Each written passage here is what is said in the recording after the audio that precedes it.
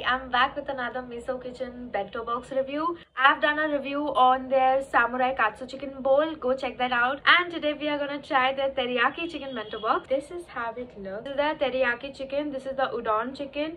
Uh, the two mandu and two um, what is this called? Spring rolls. And this is our bento box. I love bento box mostly the everything is same here except for the teriyaki chicken. So i'll taste the teriyaki chicken first. Oh the chicken looks so juicy. Look at that. It has a really sweet uh, flavor. I like the samurai katsu chicken bento box more. I got to switch the flavor i wanted to order the california roll but we have shrimp tempura and i don't mind it.